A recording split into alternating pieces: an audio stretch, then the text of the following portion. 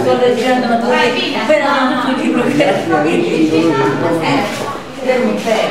strollona quando il mondo è un'altra? Aspetti, c'è un personaggio importante, prego. Senatore, buongiorno, eh, benvenuto nel, nel gruppo Mancini, è un onore averla tra il mondo Mancini. Cosa ne pensa della serata? Ah, interessante, noi cerchiamo di dare un contributo morale a queste iniziative che sono fondamentali. Al centro del paese, in piazzetta, che praticamente deve ritornare a essere quello che una volta qui è nata l'isola Ischia, a, Pia- a Piazza dei Bagni e questo ritengo che sia doveroso nei confronti di chi schitano come Bruno Mancini si dà da fare per portare avanti la cultura del nostro paese. Senatore, come mai ha scelto il mondo Mancini? E perché è uno che si dà da fare, perché è uno che vive sul territorio, è uno che ama e ha passione per questa sua attività che fa e quindi un mecenate del genere deve essere assolutamente aiutato nel sviluppo della- dell'attività e di tutti coloro che con passione e con calore svolgono queste attività importanti per, per tutti. Cosa augura al mondo Mancini? Ma io sono convinto che oggi bisogna ritornare al passato perché è il nostro specchietto retrovisore e ci permette di guardare il futuro con maggiore tranquillità.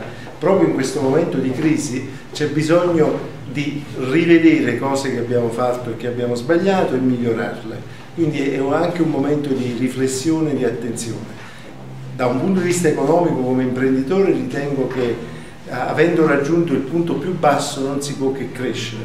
Di conseguenza invito tutti a investire nel futuro, nei giovani, soprattutto anche economicamente, perché un momento più basso di questo difficilmente potrà, potrà sussistere. Senatore, eh, un'altra domanda. Secondo lei la cultura, in un mondo in cui oggi sembra tutto re- diventare difficile, i ragazzi di oggi sappiamo sono pochi coloro che si interessano alla cultura, e ci sono molti ragazzi che sabato sera escono, si vanno a ubriacare.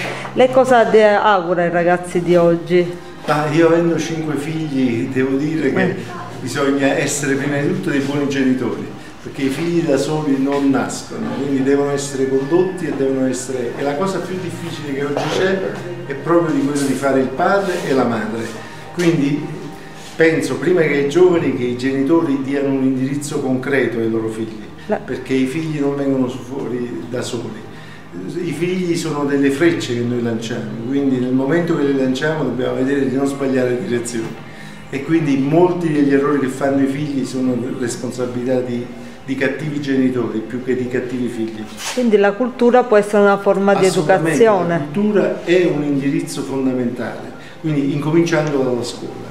Per cui i genitori nel momento che affidano i loro figli alla scuola, noi dobbiamo pretendere di avere una scuola che funzioni. Talvolta siamo invece poco attenti a questo. E io ricordo che un professore qualche volta mi trattava male, io andavo da mia madre e gli dicevo guarda il professore mi ha trattato così, buscavo ancora di più. Oggi invece è esattamente il contrario. Oggi è esattamente il contrario. Quando un, genitore- quando un figlio viene a casa e qual- talvolta qualche genitore va a lamentarsi al professore, questa è una cosa sbagliata. La ringraziamo senatore, grazie, Grazie. per essere Grazie intervenuto.